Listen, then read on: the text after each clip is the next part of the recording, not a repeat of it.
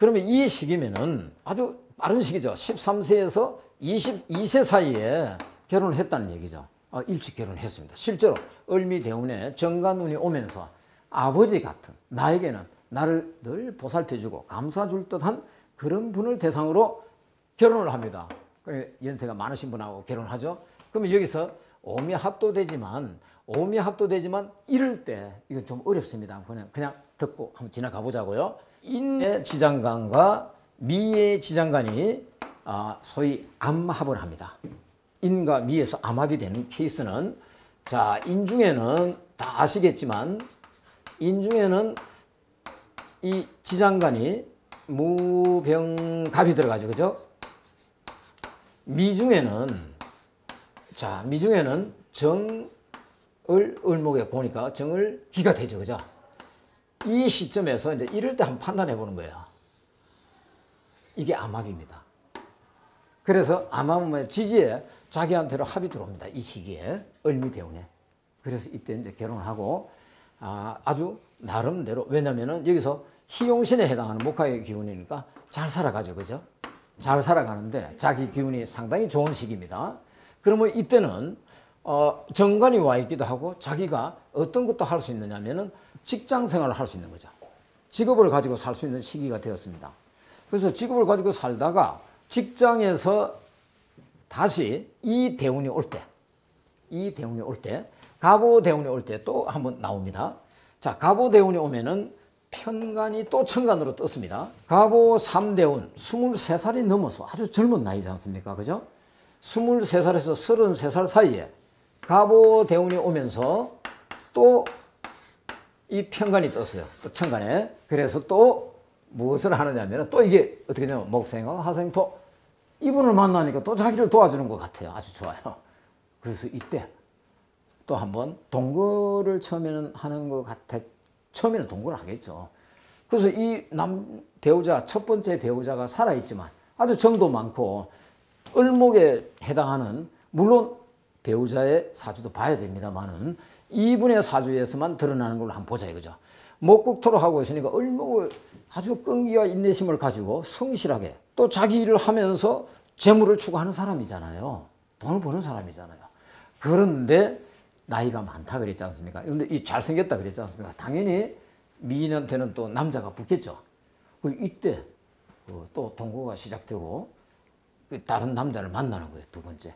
근데 이분은 나이가 이제 많고 하시다 보니까 이분을 통해서는 자녀가 둘이 있어요. 딸만 둘이에요. 딸만. 딸만 둘인데 연세가 드신 후에도 지금도 아직 생존해 계십니다. 근데 이분이 계속 자기가 낳은 자식에 대해서는 떨어져 살면서도 그 이제 생활비를 도와주고 하시는 분이랍니다. 그러니까 그런 이제 인내심이나 끈기도 있고 근본적으로 목이라는 거 우리 다 아시죠? 의질인이라 그러죠. 그죠? 사람이 의질고 자기가 주어진 일에 대해서는 나름대로 책임을 다하는 사람. 막 그렇게 해서 살아가는데 이 사람을 만나면서 이 시기에도 이 사람은 많은 도움을 받으면서 살 수 있습니다. 그런데 여기서 왜 또 이런 상황이 벌어졌느냐? 이럴 때 우리가 암합을 또 살펴보자 이겁니다.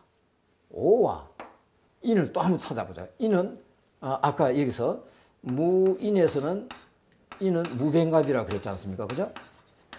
무병갑인데 여기도 뭐가 있습니까? 오중에 병, 기, 정이 또 있어요. 그게 또 이게 이렇게 또 붙어요. 그래서 이게 자기 몸이 또 합을 하는 거예요. 또 다르게 보면은 가보가 되면은요 이렇게 암합으로 합을 할 수도 있지만 오인호 뭐가 됩니까? 합을 해서 자기 밑으로 들어옵니다. 또 가보 때문에 그래서 이분이 어, 또 이분 이 남자분과 잘 같이 사업을 하며 살아갑니다. 자 그런데 위쪽에서는 큰 개괄적으로 대운만 가지고 한번 설명을 했지만 자 그러면 이제 이 사대운에 와서 사대운에 개사대운이 왔을 때 한번 살펴보자 이거죠. 개사대운이 왔을 때. 자 그러면 우리가 여기서 말할 때 우리가 이제 어, 흔히 용신이나 귀신이나 이것은 살필 필요가 없다지만 살피지 않고 이 원국과 대운만 보고도 물론 얘기할 수 있습니다. 이 사람에게 필요한 기운이 무엇이다 하는 것을 할 수도 있는데 이것을 좀 찾는 연습이 되고 실제로 찾아놓고 보면 좀 수월하죠. 계사 대운이 오니까 자 지지로는 한번 보자고요. 사유합을 하죠, 그죠? 식신이 상관이 좀 많이 줄어들었어요, 그죠? 그래서 상관 노릇을 하지는 않습니다. 그리고 무게합을 하죠, 그죠? 정계충을 하죠.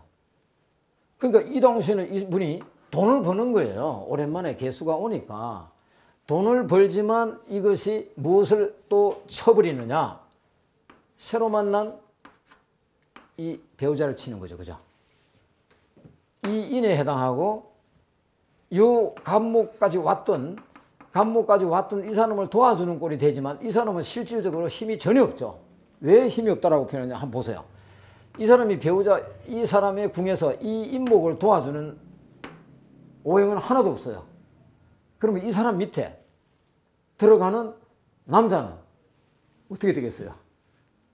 들어가면 몸이 아프거나 또는 뭐 어떤 하고 있는 일이 관성은 또 우리가 사회적으로는 자기 직업이고 어, 자기 가정이 되고 또 자기가 하는 사업체가 될 수 있는 게 관성이지 않습니까?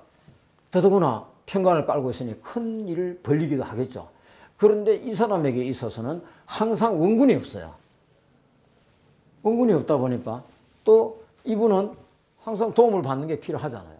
그러면은 목이 화를 생해줘서 화생토로 가면 참 좋잖아요. 그러면 관인상생이 되죠. 늘 이분은 주변에 남자가 있어야 되잖아요. 밖으로 드러나는 남자가. 그러니까 여기에 감목이 계속 있는 거예요. 그 여기서 이 사업체를 운영하는 게 어, 거의 망가집니다. 망가지고 그러면은 이분이 이제 이때 손, 손실을 많이 봐요. 왜? 여기서 개수를 도와줄 수 있는 게 하나도 없잖아요. 또 천간에서는. 그런데 이게 충이 되다 보니까 금을 해서 술을 만드는 거는 틀림없이 만들었지만 자기 돈이 되지가 않는 거죠. 왜? 또 여기 지지로 보면 내가 인사 뭡니까? 관성과 아, 자기 주변에 있는 어, 뭐 할아버지 할머니든 이 사람이 되겠죠. 이때 뭐냐면 토지와 관련된 분쟁이 생겼답니다. 그래서 결국은 그걸 찾지를 못하고 어, 손상을 보는 시기이기도 하고 또 이때가 언제냐면은 2009년이 되기 전에 2007년이 제가 여기 적어 놨습니다. 이제 아까 적었던 2007년이 뭐냐면 정해년입니다. 정해년에 어떤 일들이 벌어지느냐. 인성에 좋은 기운이 왔습니다만은 여기서 다시 인해 합을 해서 들어옵니다. 인해 합을 하고 들어오니까 이 시기에는 어떤 상이 벌어지냐. 해수가 또 여기서는 나름대로 작용을 하니까 이때도 이분에게는 나름대로 사운이 지지에 있으니까 활동을 해주는 시기가 됐어요. 그래서 사, 비록 사해충이 되지만 인해합으로 대운에서는 인사행을 하고 있지만 이것이 통관 역할을 해줬다. 그래서 이 시기는 이분 나름대로는 아주 좋은 시기를 보냈다. 자, 그런데 이 기가 2009년 소위 1, 2, 3, 4, 5대 운에 왔을 때 2009년이 될 때 제가 아까 말씀드렸죠. 그죠? 2009년이 되면서 3월과 7월 달에 어떤 일이 벌어지느냐. 수술을 두 번이나 했다. 대수술을 두 번이나 하고 내 목숨이 그야말로 이제 급박한 상황이 된 거죠.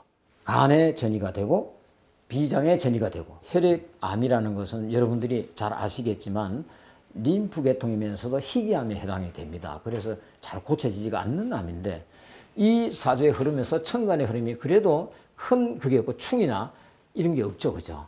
그래서 이분이 죽지는 않는 거예요. 그러면 2009년은 자 우리가 아까 여기 제가 2009하고 적어 놨습니다. 이 잘 보시면은 대운이 바뀌는 시기죠. 그죠? 대운이 바뀌는 시기고 2009년은 기축년입니다. 이걸 한번 보면 이게 이제 급제운이 오고 있습니다. 그죠? 자, 여기서 뭐 한신에 해당한다 했습니다. 그죠? 그러니까 한가한데 얘네들이 와서 도움이 될 수는 있는데 이게 잘 보면은 우선 이 한 해와 이 대운은 우선 축진하면 토가 꽤 많아졌습니다. 그런데 이 임진 대운 접이분은 제가 출간한 책에도 대운이 바뀌는 데는 접입운과 접목운으로 분리를 해놨습니다. 접입운은 뭐냐면은 아, 나무가 있으면은 옮겨 심는 것이 아니라 가지치기를 하거나 또는 거기에 또 더 붙여서 좀 더 풍성하게 만들 수도 있으니까 크게 문제가 되지 않지만 그래도 가지를 자르거나 잘못해서 큰 줄기를 자른다면은 그것도 손상을 입을 수 있지 않습니까? 그런데 전목운은 목에서 여기서는 화의 기운이죠. 그죠? 화의 기운에서 여기 뭐로 가고 있냐면은 목의 기운으로 흘러가고 있어요. 양의 기운이지만 전혀 다른 기운으로 흘러가면서 이 시기에 이 시기에 전목 이것을 전목운이라 그럽니다.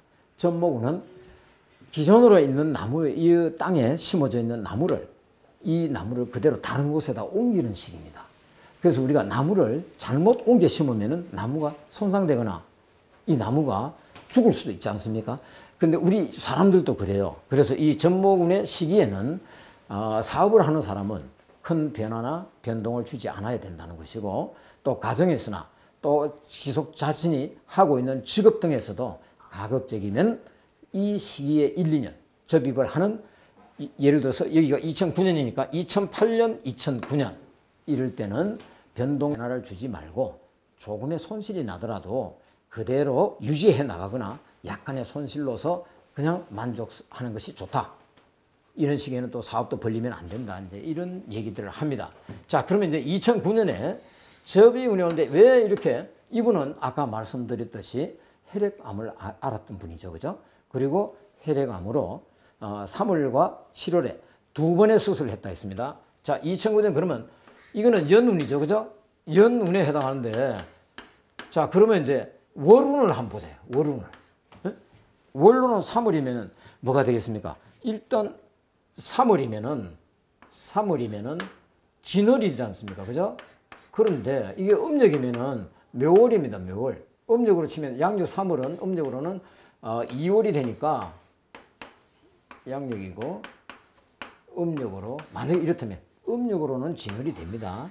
근데 2월도 또 보자 이거예요. 왜냐면 이분이 음력 양력을 구분 안 할 수도 있으니까 이 시기입니다. 그러면 이 월과 한번 보자고요. 묘월 들어갔을 때 2월 달에 이분은 이미 여기에서 많은 어, 문제가 생기고 있습니다. 어떤 문제가 생기고 있느냐?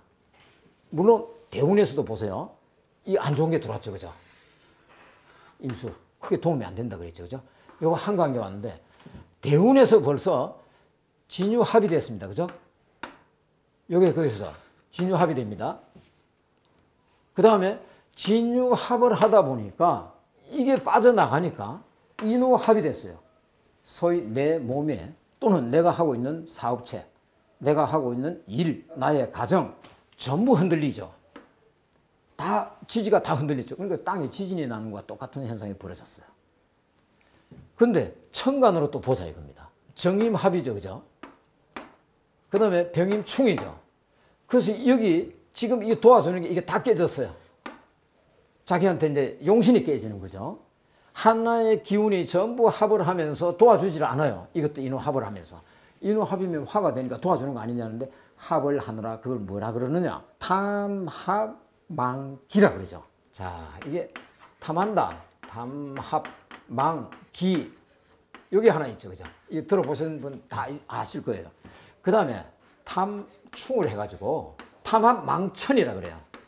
내가 천하고 나쁜 짓 하는 것을 안 하게 된다는 거예요. 그래서 합의돼서 좋은 경우도 있고 합의돼서 안 좋은 것도 있어요. 이거는 뭐냐면 합을 해가지고 귀한 것을 잊어버린다. 그래서 여기서 정임합과 병임충을 하면서 어떤 상황이 되냐면은 여기서는 좋은 것을 했는데 이거는 탐합 망천을 하면 좋은데 이것은 좋은 기운을 합, 합을 해서 충을 해서 탐충 망기가 돼버린 거예요. 탐충 망기. 그래서 우리가 합을 하면은 다 좋고 또는 충을 하면은 다 나쁘고가 아니라 요 분배를 하는 연습을 좀 해줘야 되겠죠. 그래서 이 대운상으로 좋지가 않은데 다시 이 운이 왔을 때 또 한번 보십시오. 다시 축, 유축 뭐가 됩니까? 사유축 할 때 유축 삼합의 반합이 또 이루어집니다. 그래서 다시 지지가 다 흔들렸어요. 2009년에 천간이 다 흔들렸죠. 그리고 이 기운은 뭐를 하느냐면은 굳이 필요 없는 토가 와서 토가 와서 급제 역할을 또 해버렸죠. 그러나 지지는 나의 몸이라 그랬지 않습니까? 그래서 이 지지 몸이 많은 수축을 받고 이때 수술을 하는 시기가 되는데 그 중에 또 3월 달로 보면 진월이 되죠. 그런데 이분이 양력으로 3월이라면 음력으로는 2월 달입니다. 여기 오면 또 충을 합니다. 자, 무슨 충을 합니까? 묘유충을 하죠. 그죠? 지지가 묘유충을 한다. 그래서 대운과 세운 월운에서 도와주질 않았죠. 그죠? 월운에서도. 그래서 이분이 큰 수술을 하는 시기가 된다. 다음에 7월 달도 한번 봐보자고요. 7월 달은 우리 단순하게 어, 양력으로가 치면은 미월이 될 수가 있고 실제로 음력 7월이면은 음력 7월이면은 그러면은 이게 신월이 되죠. 그죠? 자, 신월이 되면 또 뭐를 하냐면은 또 여기서 인신충을 하고 들어가 버립니다. 그죠? 만약에 음력 6월이라면은 오미 합을 합니다. 또 그죠? 그러면 전체가 다 흔들리는 이 시점에서 그나마 9월 달에는 좀 덜 했겠지만 이때 이분의 몸은 다 망가졌었다. 그래서 질병은 이렇게 나왔다. 그러면은 방책이 있어야 되지 않겠습니까? 방책을 마련해야 되는데 자, 이 방책은 아무리 좋은 방법이 있어도 본인이 실행하지 않으면 안 되죠. 그죠? 그래서 제가 아, 이분들을 따님이 늘 이제 부축을 해서 왔으니까 그러면 내가 얘기를 한번 해볼 테니 이런 부분을 한번 지켜줄 수 있겠느냐. 반드시 지켜보고 어, 이 결과를 한번 보자. 그러면은 당신이 어느 정도의 신뢰가 있다면 어, 한번 실행을 해봐라. 그래서 이제 거기에서 상담 후에는 방책을 마련해 줘야 되겠죠. 그죠? 이분에 해당하는 방책이겠죠. 그죠? 또 특히 이제 암을 가지고 있으니까 첫 번째, 어, 제가 이렇게 얘기했어요. 약속은 반드시 지키기로 하고 딸도 엄마를 그렇게 하겠다 했으니까 현재 살고 있는 집에서 이사를 하라고 했습니다.